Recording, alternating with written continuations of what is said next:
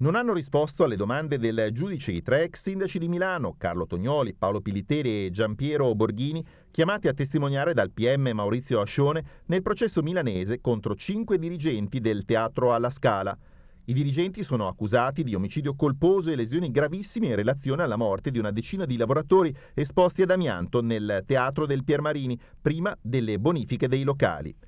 I tre ex primi cittadini erano stati prosciolti per non aver commesso il fatto dal GUP Alessandra Simeon nel novembre 2016 e per questo motivo il presidente della nona sezione penale del Tribunale, Mariolina Panasiti, ha dato loro la possibilità di avvalersi della facoltà di non rispondere perché le loro dichiarazioni potrebbero essere interpretate in senso accusatorio contro di loro.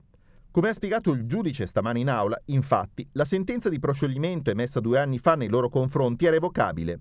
L'ex sindaco Marco Formentini, anche lui chiamato a testimoniare questo pomeriggio, ha presentato un impedimento per motivi di salute e sarà forse presente nella prossima udienza del 19 ottobre. Fuori dall'aula, Tognoli ha ribadito di essere estraneo alla vicenda e ha sottolineato che all'epoca non vi erano leggi relative all'amianto. In contemporanea, una quindicina di esponenti del movimento Coordinamento Amianto Lombardia ha esposto uno striscione davanti al Palazzo di Giustizia, sostenendo che il picco delle morti per esposizione ad amianto è previsto per il 2020 e che quindi è importante sensibilizzare i cittadini in tema di tutela della propria salute.